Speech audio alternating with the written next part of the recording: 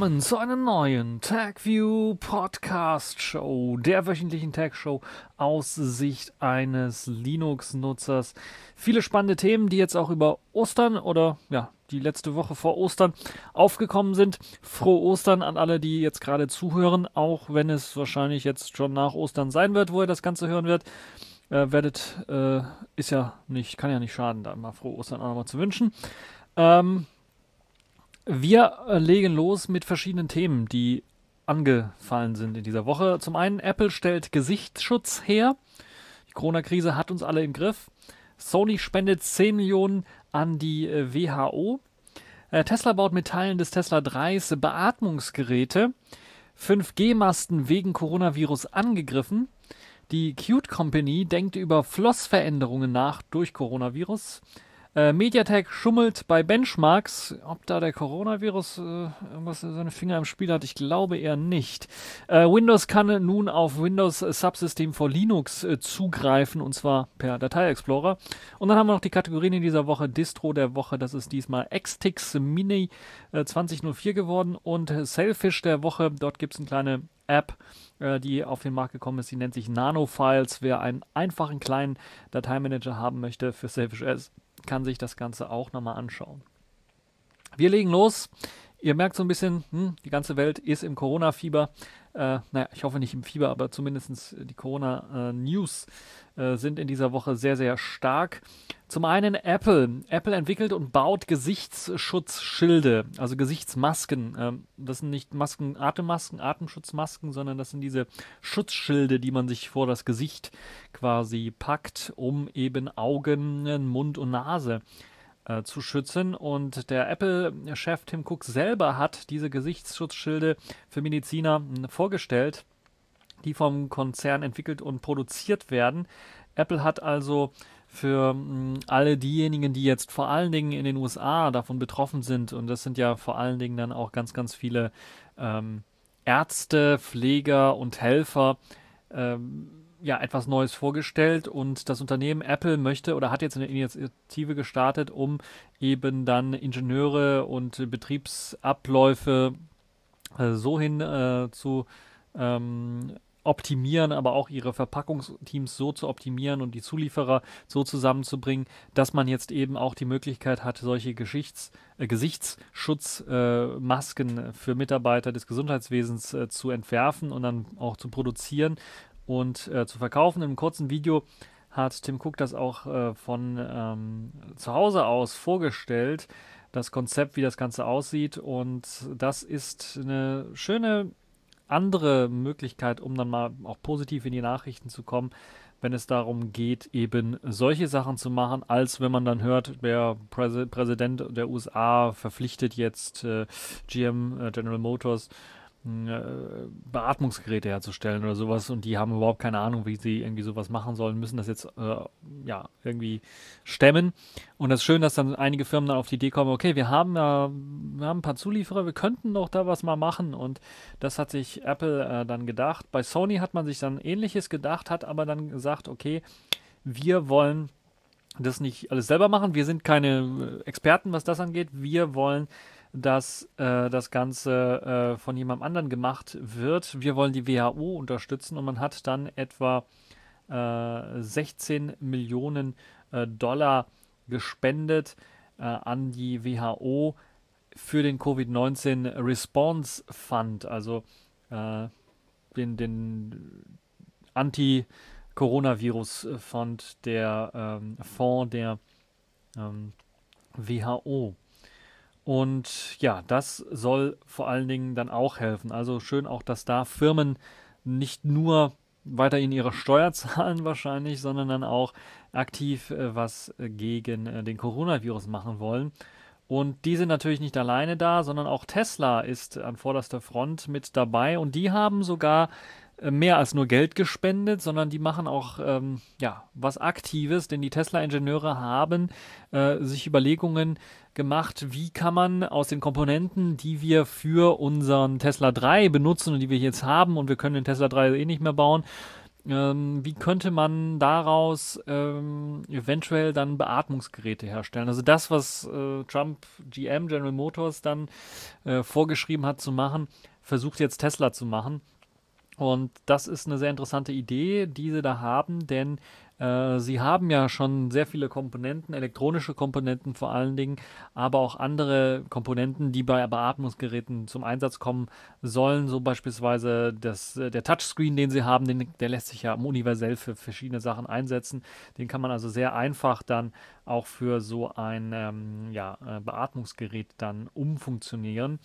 Und in einem Video haben die Ingenieure von Tesla einen Prototyp eines Beatmungsgerätes vorgestellt und das Unternehmen versucht, möglichst mit vielen Teilen, die sie aus der Produktion, der Autoproduktion äh, haben, für eben zum Beispiel Tesla 3 Fertigung, dann auch äh, die Produktion von solchen ähm, Beatmungsgeräten äh, auf die Beine zu stellen. Sie werden nicht ausschließlich nur auf die Komponenten zugreifen, aber zu einem Großteil.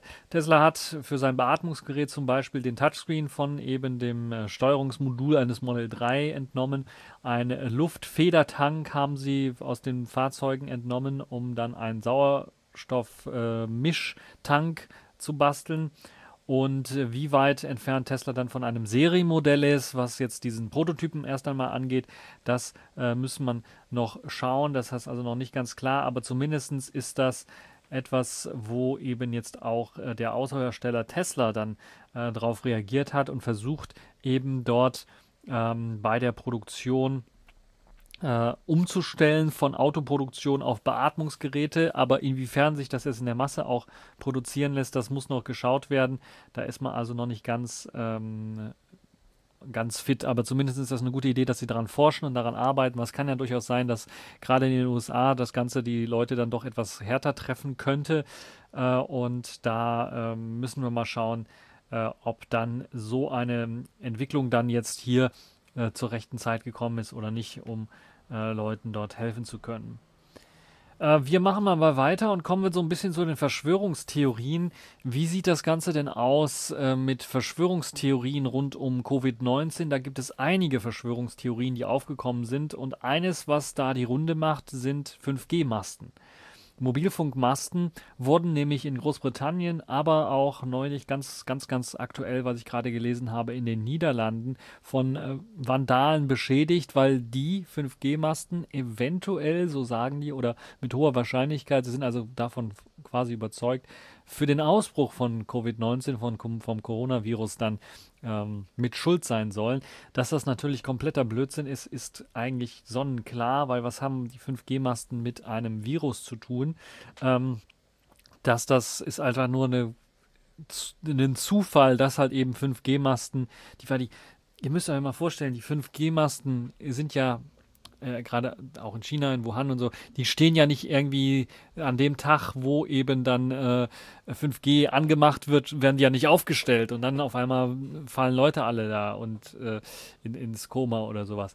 Das ist natürlich nicht der Fall, sondern das ist einfach ein Zufall. Es wurde halt entwickelt, entwickelt, entwickelt, getestet, getestet, getestet und man hat dann äh, 5G eingeschaltet und es hat dann auch erstmal Monate später kam es halt eben zu diesem Virusausbruch. Das hat also überhaupt nichts mit 5G-Masten zu tun. Und das ist einfach wissenschaftlich äh, erwiesen, dass das kompletter Nonsens ist. Aber Leute sind eben in ihrer Verzweiflung eventuell oder auch in ihrer Skepsis gegenüber den öffentlichen äh, Nachrichtenreports sind sie halt so ein bisschen ja, verrückt, würde ich mal sagen, und glauben dann eben auch Verschwörungstheorien, dass das irgendwie ein entwickeltes Supervirus ist, um bestimmte Leute ausrotten zu können. Oder dass es jetzt wie in dem Fall ähm, von den Leuten propagiert, eben 5G-Netzwerke sind, die eben durch ihre Strahlung dann den Coronavirus ausgelöst hätten oder die Verbreitung des Coronavirus äh, dann äh, ja, äh, gefördert hätten.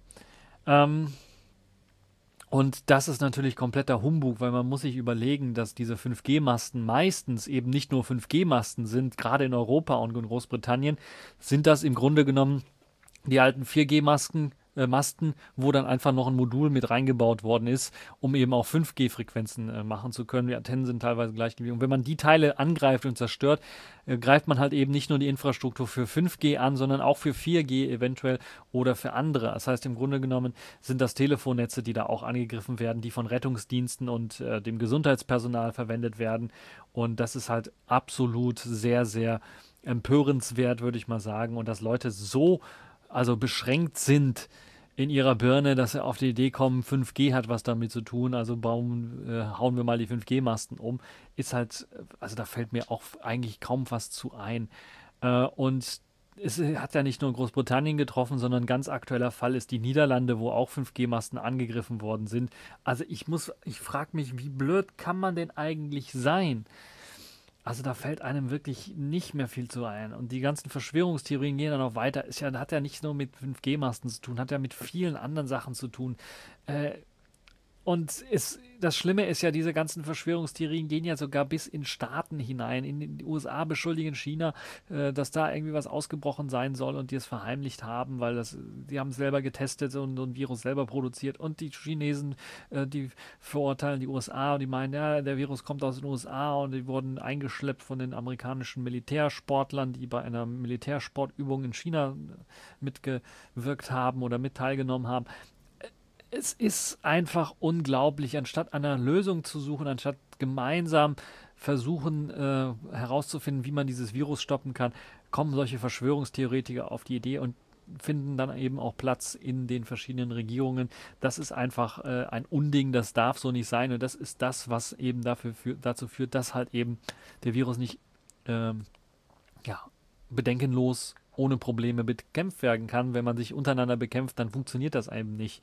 Und deshalb ist das halt eben, äh, ja, sehr, sehr beängstigend, die Reaktion zu sehen. Weil jetzt zeigt sich ja so ein bisschen in dieser Corona-Krise, in der Lockdown-Krise, äh, wie Leute wirklich ticken.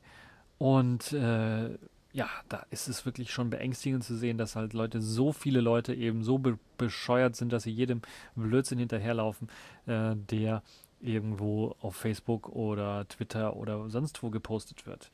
Nun ja, das eben meine Meinung zu der ganzen Geschichte. Ihr könnt mir ja schreiben, was ihr von der ganzen Geschichte haltet und wie es bei euch aussieht im Freundeskreis oder im Familienkreis.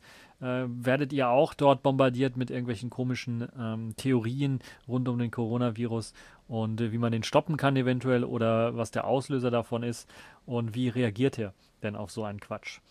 Das würde mich interessieren, könnt ihr im Kommentarbereich hinterlassen. Ähm, wir machen mal weiter und wir machen weiter mit einer Meldung, die auch wieder was mit Corona zu tun hat. Zumindest behauptet das äh, die Cute Company. Denn die Cute Company hat jetzt so ein bisschen durchsickern lassen für ihren Plan 2020, dass sie eventuell sich auch vorstellen kann, durch eben die Corona-Krise auf die Idee zu kommen, ihre Qt-Releases erst einmal geschlossen zu halten für ein Jahr lang und dann erst einmal freizugeben an die Öffentlichkeit, also das Open Source Projekt im Grunde genommen in einen einjährigen Schlaf zu schicken. Das soll nicht nur einmalig irgendwie geschehen, sondern das soll dann jetzt die Reaktion auf Corona und einbrechende ähm, Verkaufszahlen ihrer, ihres Qt-Produktes sein. Und das hat ja, also, das hat alles keine Hand und keinen Fuß, würde ich mal behaupten. Also ich glaube nicht, dass die Qt, warum sollte ein Stück Software, was verkauft wird, jetzt auf einmal Riesenprobleme, Riesengewinneinbruch äh, geben? Also das macht überhaupt keinen Sinn für mich muss ich ganz ehrlich sagen. Klar, die Software wird eventuell nicht mehr bei Automobilen eingesetzt oder lizenziert, wenn nicht so viele Autos gebaut werden müssten. Aber die wurden ja vorher schon lizenziert zum Großteil. Und deshalb ist eben, äh, also das komplett für mich schleierhaft. Und das hat natürlich direkt die KDE-Community so ein bisschen als größter, ähm, als einer der größten Kontributoren, Kontributoren zu, also die was leisten, hinzufügen zu Qt äh, und natürlich auch als Nutznießer von Qt, weil eben der ganze Desktop, Plasma Desktop und viele Anwendungen auf Qt aufsetzen, natürlich auf den Plan gerufen, die gemeint haben, oh oh, das könnte eventuell dazu führen, dass wir Qt forken müssten. Sie sehen sich zwar aktuell noch nicht in der Lage, Qt forken zu müssen, aber sie haben zumindest mit dem Agreement, also der Vereinbarung, die getroffen worden ist, damals glaube ich noch mit Trolltech, dass eben, wenn Qt irgendwann mal sagt, wir wollen, oder Trolltech da in dem Fall, äh, irgendwann mal sagt, wir wollen ähm, Qt schließen, also nicht mehr geschlossen machen, dass automatisch der Code, der zuletzt veröffentlicht worden ist, dann unter einer BSD-Lizenz veröffentlicht wird oder gestellt wird und dann gemacht werden kann, was damit, was man damit machen möchte. Das heißt, diese Vereinbarung ist eine sehr starke Vereinbarung, auch eine gute Vereinbarung, die getroffen worden ist, die halt eben äh, solchen Projekten, Open Source Projekten, die auf Qt basieren und auf eine Open Source Qt Lösung setzen, eben den Hintern retten kann. Und äh, diese Vereinbarung würde dann in Kraft treten oder zumindest würde man da mit dem Finger drauf zeigen, dass diese Vereinbarung dann in Kraft treten äh, wird. Also ausgelöst dann von, äh, von The Cute Company selber, wenn die halt eben auf die Idee kommen, das so zu machen. Ähm, also es wäre ein Vertragsverstoß meines Erachtens, aber da müssen sich natürlich Juristen da äh, bei der Vereinbarung nochmal genauer äh, umschauen. Aber es wird auf jeden Fall so sein, dass natürlich dann der letzte aktuelle Code, der rausgegeben würde, dann mit Sicherheit äh, einen, einen findet, der das Ganze forken möchte und dann auch eine Community äh, rundherum bilden könnte, die eben auf eine Open Source äh, Qt Fork Lösung dann setzen würde. So sieht es aus. Aber momentan ist noch nichts entschieden. Der Qt Company hat nochmal gesagt, sie äh, unterstützen natürlich freie und Open Source Software und wollen da natürlich weiter mit denen zusammenarbeiten.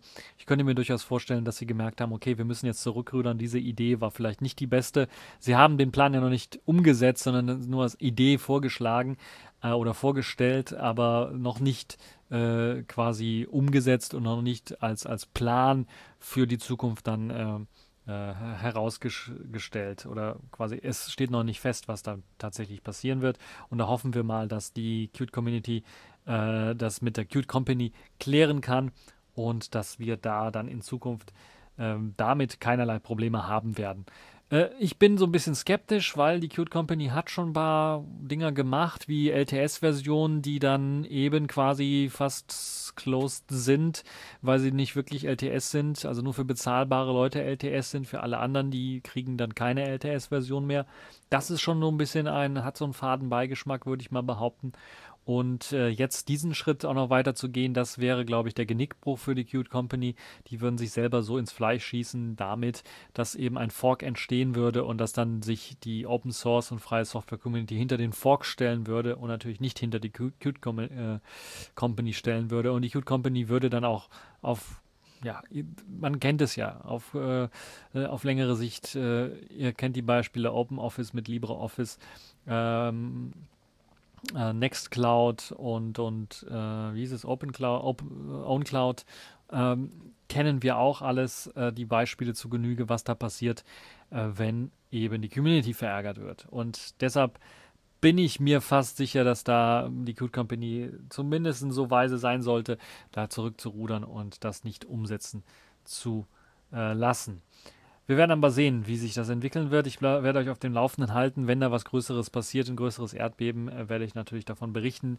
Es, man braucht jetzt keine großartige Angst zu haben. Plasma- oder KDE-Anwendungen setzen zumeist sowieso nicht auf die allerneueste Qt-Version, sondern immer hm, ja, zwei Versionen dahinter oder sowas. Äh, ist es immer noch kompatibel mit. Das heißt, es hat erstmal keine großen Auswirkungen auf KDE und Plasma aber natürlich äh, auch für die Zukunft hätte es größere Auswirkungen für Weiterentwicklungen, für Bugfixes natürlich.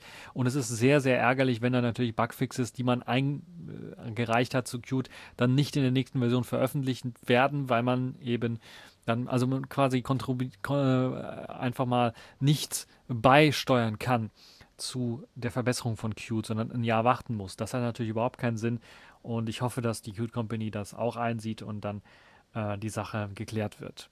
Also, KDE-Plasma-Nutzer brauchen jetzt nicht irgendwie sagen, oh, kacke, was mache ich jetzt? Muss ich einen neuen Desktop suchen? Nein, der wird weiterhin laufen, der wird weiterhin funktionieren. Da ist noch nichts entschieden. Es ist halt einfach nur eine Überlegung, die jetzt aufgekommen ist und äh, da hat man dann auch von Seiten der Community gezeigt, wir reagieren, wir haben auch andere Mittel, falls die Qt Company wirklich äh, diesen Amok begehen möchte, sich äh, quasi selber umbringen möchte in dem Fall. Wir werden damit nicht äh, untergehen. So nach dem Motto. So könnte man das Ganze auch sagen. So, wir machen mal weiter und das hat jetzt nichts mit Corona zu tun, ist aber auch so ein kleines Skandälchen, was in dieser Woche aufgetaucht ist und das dazu geführt hat, dass einige gesagt haben, Mediatek, ne, nie wieder. MediaTek ist ja ein äh, Hersteller von äh, ARM-Prozessoren vornehmlich, also die stellen Chips her. Ähm, stellen sie die wirklich her? Sie, sie produzieren die nicht wirklich, sondern die stellen halt die Chip-Designs her und lassen dann produzieren in den großen Firmen äh, wie TSMC. Ähm, MediaTek ist jetzt beim Schummeln erwischt worden. Ihr Helio, Helio P95 wurde dabei erwischt, wie er eben eine Whitelist hat für bestimmte Anwendungen. Ihr könnt euch vorstellen, was für Anwendungen das sind. In dem Fall Benchmark-Anwendungen unter Android vornehmlich, die dazu führt, dass eben der Prozessor die Möglichkeit hat, deutlich zu übertakten, deutlich mehr Leistung aufzunehmen, als er eigentlich spezifiziert ist. Das dazu führt, dass natürlich für diesen Benchmark dann sehr, sehr hohe Werte rauskommen. Und äh, ja, der SoC-Hersteller MediaTek hat dann offenbar seit Jahren eben seine Partner beliefert mit eben einer Firmware, die eben darauf ausgelegt ist, bei Benchmarks sehr hohe Werte zu erzielen. Und äh, das wurde dann äh, vor allen Dingen klar bei den äh, neuen Oppo-Geräten dem Oppo Reno 3 Pro, das mit Helios, äh, mit MediaTek Helio P95 beim PC Mark 10 drastisch bessere Werte verzeichnet hatte als eben das chinesische Oppo Reno 3 Pro, das mit Qualcomm Snapdragon 765G erschienen ist, aber auch als das Oppo Reno 3 mit MediaTeks äh, Dimensity 1000L äh, was eben der allerneueste Prozessor ist, eine Konkurrenzprozessor äh, quasi für den Snapdragon 865 mit 5G an Bord, also ordentlich viel Power. Und mit einer modifizierten Installation des PC Mark 10 schneidet eben das Oppo Reno 3 Pro mit Helio P 95 äh, wie erwartet ab. Und eben bei der nicht modifizierten, bei der normalen PC Mark 10er Version, hat man halt eben die deutlich besseren Werte beim P95 als bei eben dem äh, Snapdragon 765 oder dem neuen Dimensity 1000L. Das heißt, mit anderen Worten, MediaTek macht dieses, dieses Tuning oder dieses Cheaten im Grunde genommen bei dem neuen Dimensity 1000L anscheinend nicht mehr, aber beim alten Helio P95 haben sie das gemacht. Und da könnt ihr natürlich damit rechnen, dass all diese äh, Benchmark-Werte oder Vergleiche, die mit dem Helio P95 oder anderen, auch älteren Helio-Prozessoren von Sa Seiten Mediatex gemacht worden sind, dass man denen nicht ganz glauben äh, darf, sondern dass die Leistung wahrscheinlich deutlich drunter liegt äh, als das, was der Benchmark dort anzeigt. Neben Smartphones, die jetzt äh, Oppo hergestellt hat, betrifft das Ganze aber auch äh, Geräte von Realme, Sony und Vivo. Und auch Xiaomi soll betroffen sein. Die haben ja auch einige ihre Geräte mit den, äh, mit den MediaTek-Prozessoren hergestellt. Ich glaube, wenn ich mich nicht irre, war da das K30 äh, mit MediaTek, nee, nicht das K30, das Note 8 mit, äh, mit, mit dem MediaTek ausgestattet, Note 8 Pro, glaube ich, oder das Note 8 selber, äh, Redmi Note 8. Ähm, und ja, das ist natürlich dann doch schon ein bisschen was ähm, fraglich. Mediatek selber sagt ja, das ist der Industriestandard, das macht ja jeder. Klar, das stimmt in einer Art und Weise schon, aber nicht so, dass das der Chip-Hersteller selber gemacht hat bisher, sondern das war vornehmlich dann irgendein anderer Smartphone-Hersteller, der dann seine Software so optimiert hat, dass sie optimaler läuft unter Benchmark-Bedingungen als wirklich im realen Leben. Und ja, ähm, äh, Mediatek ist natürlich begründet das auch so, ja, das zeigt ja, wie viel der Chip rausholen kann, äh, wenn man ihn halt ordentlich powert. Aber auf der anderen Seite ist es ja auch so, dass ein normaler Handynutzer dann diese Power nicht wirklich ausnutzen kann und die Orientierungswerte für so einen Benchmark dann natürlich kompletter Murks sind und man dann natürlich auch Vergleichswerte nicht richtig haben kann, weil natürlich auch so ein ähm, äh, Snapdragon-Prozessor sicherlich am Anfang, wenn so ein Benchmark läuft, erstmal volle Kanne laufen kann, aber dann durch Hitze und durch äh, andere Probleme einmal mal runtertakten muss. Und klar, dieser Helio P95, der macht das dann auch, aber er kann natürlich äh, weit über die Grenzen hinausgehen äh, als das, was eine normale Anwendung kann. Also beispielsweise für die Benchmark-Anwendung kann halt übertakten, kann halt mehr Strom für den Prozessor liefern, aber mein Video-Encoding, was ich die ersten paar Minuten laufen habe, kann das nicht. Und so ist natürlich das Ganze wirklich nur eine künstliche äh, Verbesserung des Chips und hat nichts mit dem Reellen zu tun. Und jetzt würden viele diskutieren, ja gut, so ein, so ein Benchmark an sich ist ja auch immer so ein künstlicher Test und hat mit der Realität meistens nichts zu tun. Ähm, lässt sich streiten. Mich würde mal interessieren, was ihr von der ganzen Geschichte haltet. Ihr könnt das natürlich auch in Kommentaren posten. Ich kriege mittlerweile auch sehr, sehr viele Kommentare. Das freut mich äh, auf Mastodon, also zu meinen Podcasts. Da würde mich auch freuen, wenn ihr da weiter fleißig Kommentare zu postet zu den Folgen, falls ihr die gehört habt. Weil das Kommentieren auf der Webseite selber, ihr wisst, das landet meistens im Spam-Ordner. Und äh, ich sehe das dann meistens zu spät, wenn ich dann überhaupt was finde von den Kommentaren dort. Ähm, Deshalb würde mich das auch freuen, wenn, wenn, ihr da mit mir kommentieren, wenn ihr diskutieren wollt, was die Geschichte angeht. Ähm, ich muss ganz ehrlich sagen, mit den MediaTek-Prozessoren an sich hatte ich jetzt, was Geschwindigkeit und Probleme angeht, eher weniger. Aber man merkt deutlich, dass sie, wenig, dass sie mehr Stromaufnahme benötigen. Das habe ich bisher durch die Bank weg äh, bemerkt. Ich weiß das jetzt bei dem Dimensity 1000L nicht. Der neue Prozessor soll ja weniger Strom verbrauchen. Ob das äh, wirklich mithalten kann mit dem Snapdragon, ich wage es mal zu bezweifeln. Es ist ein anderer Fertigungsprozess, der an sich schon physikalisch dazu führt, dass eben der größere, größere Prozessor Fertig, Fert, äh, Fertigstellungsprozess dann dazu führt, dass halt eben mehr Strom verbraucht werden müsste. Äh, und die Geschwindigkeit war meistens auch etwas hinterher und der, die, die Wärmeentwicklung auch etwas meistens äh, über dem Durchschnitt. Deshalb werden wir mal schauen, ähm, ob ich mir überhaupt irgendwann mal noch ein, ein ähm, mit, äh, mit dem Helio, mit dem MediaTek Helio-Prozessor irgendein Smartphone oder ein Gerät kaufe. Das letzte, was ich mit, mit dem Helio-Smartphone, wo ich eigentlich überhaupt keine Probleme mit habe, gekauft habe, ist das Gemini PDA. Es kommt mit dem MediaTek Helio-Prozessor daher und würde ich da davon abraten, das nicht zu nutzen? Nein, also das funktioniert ordentlich, das funktioniert schnell, da gibt es weniger Probleme, als man hätte erwarten dürfen. Das einzig große Problem, was man immer wieder hört, sind Updates, dass äh, MediaTek anscheinend keine Treiber-Updates liefert für neuere Kernel, äh, die dann Probleme bereiten mit älteren Kernel, kriegt man keine neue Android-Version drauf. Und äh, auch Treiber sollen nicht aktualisiert werden. Und das hat natürlich dann schon Probleme und sorgt dafür, dass eben viele Geräte ohne Android-Updates auskommen. Aber ich glaube, das Sony Xperia XA, das erste, was da rausgekommen ist, das hat auch einen MediaTek Helio Prozessor gehabt und dort habe ich doch einige, habe ich schon Android-Updates bekommen und nicht nur Sicherheitsupdates, sondern auch Treiber und glaube ich so eine komplette Android-Upgrade äh, äh, bekommen. Das heißt, also ganz ist der Hopfen da nicht verloren.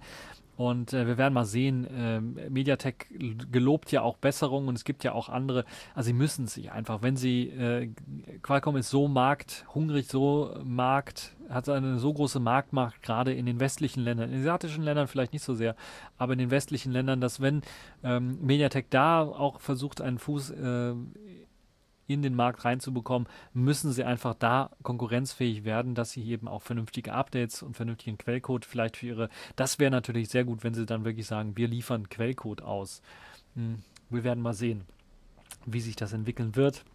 Ich kann mir nur eins vorstellen, dass eventuell ich, äh, wenn ich mir so, so ein MediaTek-Gerät noch demnächst kaufe, dann nur um wirklich ein, ein kleineres Nischen-Smartphone-Projekt äh, eventuell zu unterstützen. Also sowas wie Planet Computers mit dem Gemini PDA.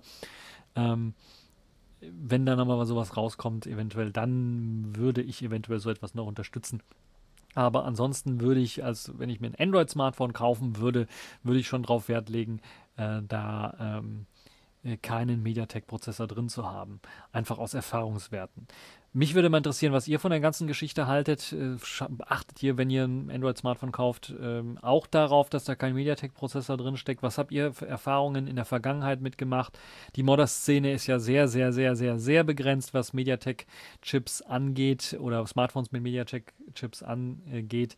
Ähm, würde mich mal interessieren, was ihr von der ganzen Geschichte haltet und wo ihr vielleicht bevorzugt, so einen MediaTek-Chip äh, mit drin zu haben. Weil ich kann mir durchaus vorstellen, wenn es darum geht, ein Zweithandy zu haben, ein Handy für den Notfall, was günstig sein soll, aber trotzdem gute Leistung bieten soll.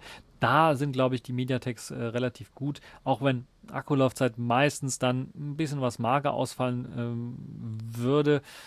Ähm, würde mich mal interessieren, was ihr von der ganzen Geschichte haltet. Postet das alles in den Kommentaren.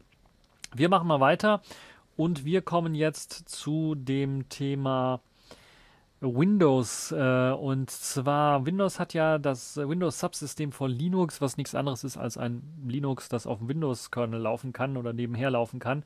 Und die haben jetzt auch eine neue Insider-Build integriert. äh, nee, herausgebracht, die integriert jetzt das äh, Subsystem für Linux in den Windows Explorer. So hat man die Möglichkeit, unter dem Reiter Linux einfach sich sein, sein äh, Windows-Subsystem von Linux anzuschauen und dann auf die Daten zuzugreifen und so einen einfachen Datenaustausch zwischen dem Linux, was unter dem Windows-Kernel läuft, und ähm, dem Linux-System selber zu haben.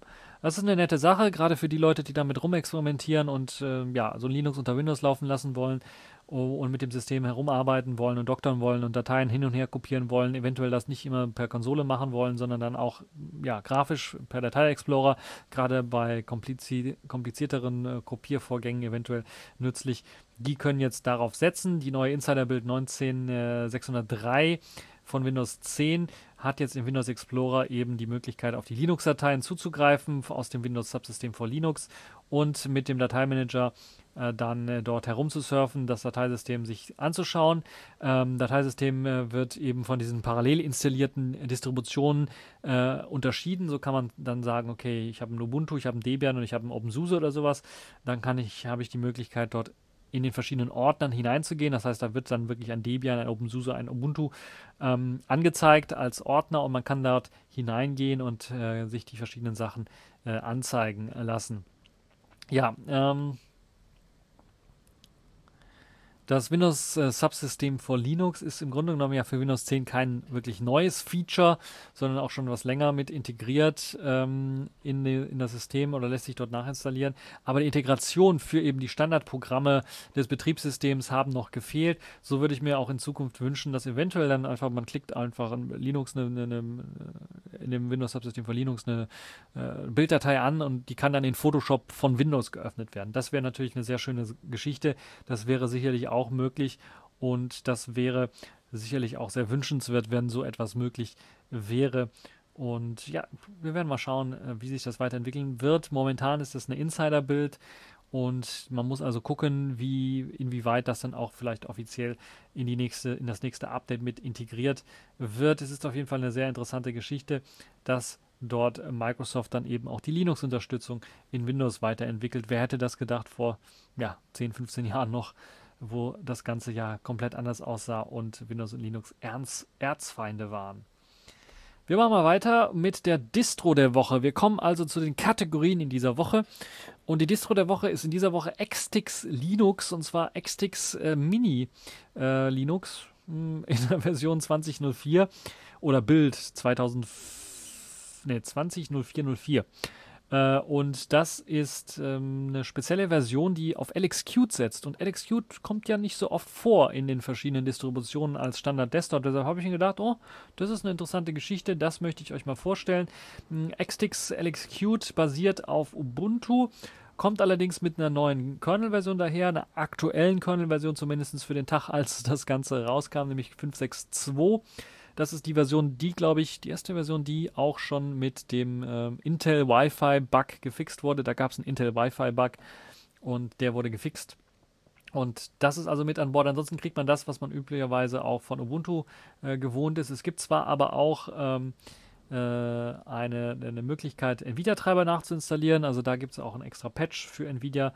Äh, Geschichten, die wurden mit integriert. Außerdem äh, läuft das Ganze auch als Live-System komplett vom USB-Stick äh, oder eben auch komplett vom Arbeitsspeicher, weil es auf etwa 1 Gigabyte, äh, ISO ist jetzt 1050 Megabyte groß, äh, runtergedoktert worden ist. Und das läuft ja meistens, kann komplett in den Arbeitsspeicher geschoben werden und ist dann ein sehr, sehr flottes und sehr, sehr schnelles System. Auch sehr, sehr aktuelles System, würde ich mal sagen. Es basiert nämlich auf den Ubuntu-Quellen von 2004 äh, was ja noch gar nicht erschienen ist, sondern sich wahrscheinlich dann etwas verzögern wird jetzt wegen, die, wegen der Corona-Krise.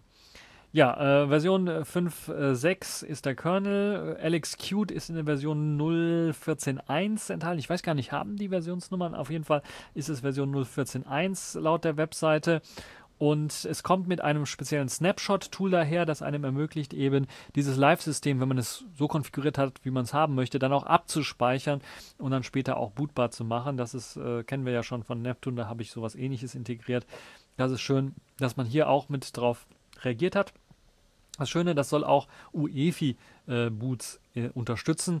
Und äh, ja, der Refracta Installer, so heißt dieser Installer, der es einem ermöglicht, dann sehr, sehr einfach das System zu installieren, auch auf die, auf die, auf die Festplatte zum Beispiel zu, zu packen.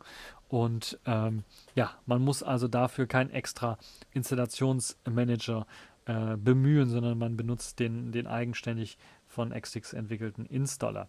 Es äh, gibt äh, die Möglichkeit, das Ganze normal auf Festplatte zu installieren, aber die Version ähm, Xtix LXQt 204, so, hat, so heißt das, also es ist verwirrend. Manchmal heißt es Xtix äh, LXQt Mini äh, 200404 und jetzt heißt es hier in dem Text Xtix äh, LXQt 204. Nun ja, die neue, ihr wisst, was ich meine. Die neue Version ähm, hat auch die Möglichkeit, auf äh, VMware oder VirtualBox installiert äh, werden zu können oder läuft auch automatisch dort sehr, sehr gut im Live-Modus. Ähm, und ähm, man muss allerdings äh, einige Hinweise folgen, wenn man das wirklich auf VirtualBox oder VMware installiert haben möchte, muss man ein paar Befehle ausführen, damit das Ganze dann auch äh, bootfähig ist. Also da solltet ihr euch das Ganze nochmal anschauen. Ansonsten, ja, eine nette Idee. Was haltet ihr von der Idee, LXQt mal so ein bisschen auch zu pushen und zu zeigen, was das Ganze kann? Ich habe ja so das Gefühl, da ist die Entwicklung so ein bisschen eingeschlafen und äh, da wäre es natürlich schön, wenn man LXQt äh, dort noch ein bisschen was pushen könnte.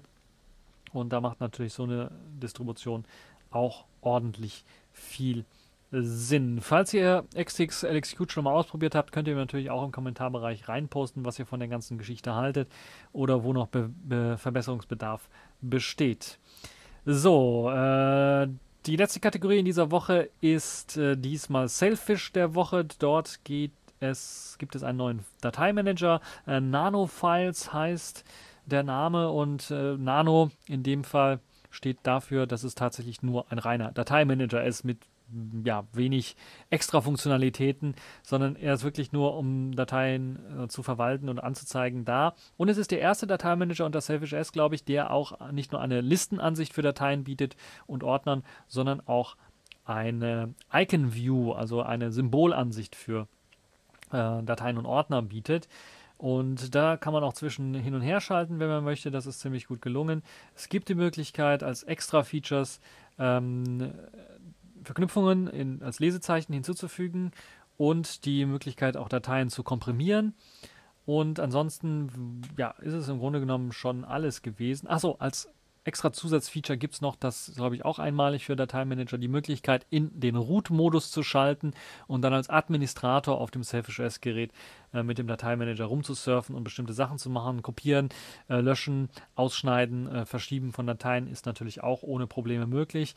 Es gibt aber keinen eingebauten Videoplayer oder einen eingebauten Texteditor ähm, oder die Möglichkeit, Dateirechte oder sowas zu verändern. Das ist da noch nicht mit drin. Das ist also ein reiner Dateimanager zum Anzeigen von Dateien und wenn man draufklickt, wird eben die native App geöffnet, die mit dem äh, Dateitypen verknüpft worden ist. Ist Version 1.0, ist äh, sehr stabil. Hier und da müsste man vielleicht noch ein paar Designverbesserungen machen. Das kennen wir ja bei äh, Versionsnummern von äh, 1.0. Es ist auf jeden Fall eine interessante Entwicklung, dass wir jetzt auch einen Dateimanager haben, der auch in den Root-Modus wechseln kann und der eben auch diese Icon-Ansicht hat. Also für die Leute, die eben auf die Symbolansicht äh, Wert legen, die können sich Nano-Files man mal anschauen. Ist auch ein sehr, sehr kleiner Dateimanager, also für die Leute äh, 120 Kilobyte groß, äh, für, für, äh, für Smartphone und fürs Tablet etwa 130 Kilobyte groß. Also das ist wirklich sehr, sehr klein und fein. Ja, dann sind wir jetzt auch schon am Ende dieser TechView Podcast Folge. Trotz Ostern habe ich es nochmal geschafft, eine Folge rauszugeben. Und ich hoffe, sehr hat euch gefallen. Ihr könnt Kommentare natürlich hinterlassen. Bleibt gesund und bis zur nächsten Folge.